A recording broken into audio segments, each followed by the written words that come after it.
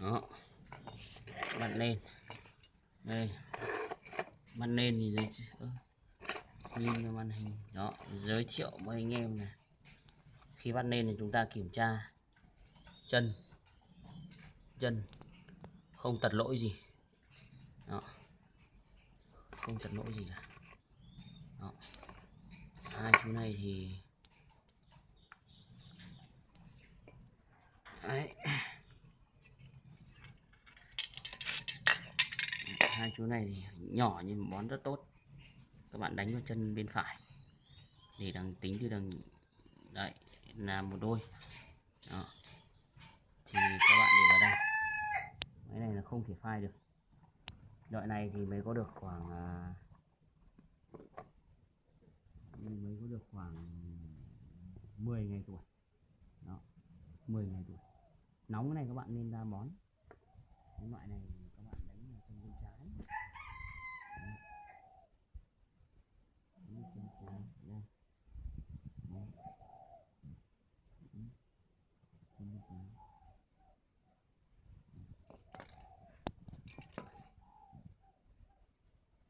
Đó, đánh vào chân bên trái Đây này. Hôm nay tầm 15 ngày tuổi 15 16 ngày tuổi các bạn kiểm tra chân bên đây bên chân bên trái Đó còn loại này thì các bạn là nó tợn hơn. Nó to hơn thì các bạn đánh vào ở đâu đánh vào đâu. Thì các bạn tốt nhất là các bạn đánh vào đầu. Đấy đánh đầu. Đấy.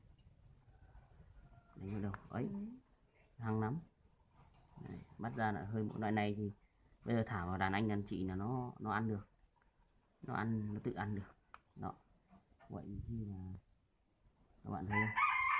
Nó- các bạn bắt nên thì bón như này các bạn đánh dấu vào các bạn thả lẫn với nhau thoải mái luôn.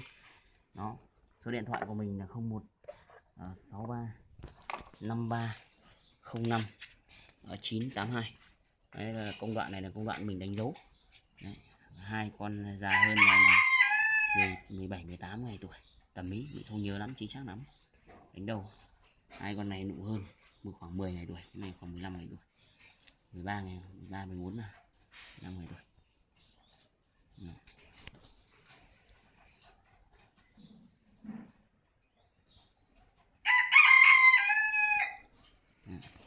Số điện thoại của mình là 01 63 53 05 982 Đấy, các bạn để này các bạn à, nuôi.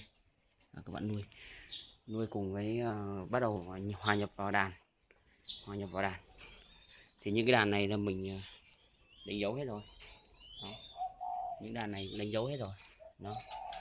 Cái đàn này thì ờ, mình ờ, để hòa nhập sang bên này. Đó. Tối. Đó.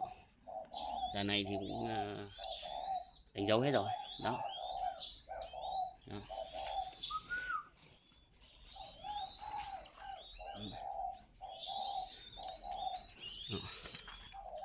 chim. Đấy, con này là có số này. Đấy, có số chân vàng vàng số đấy. đấy cảm ơn các bạn đã quan tâm kênh chim cú gáy hay của mình nhé hãy đăng ký để uh, theo dõi video mới và đặt hàng chim cú gáy giống chuẩn. À, hình bắp chuối âm giọng khá là tốt. Ok.